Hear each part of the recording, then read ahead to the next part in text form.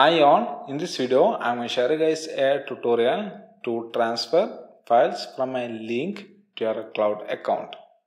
For this we are going to use MultCloud service. It is not completely free to use but monthly they provide 5 GB limit. So if you want to transfer files up to 5 GB you can use this free MultCloud service and for above 5 GB you need to get a plan. So let's jump into this uh, tutorial. First of all create an account on this MultCloud. Then from the interface add the cloud account where you like to save the files to using the add cloud option. Then choose remote upload, select create task and paste the link to your files.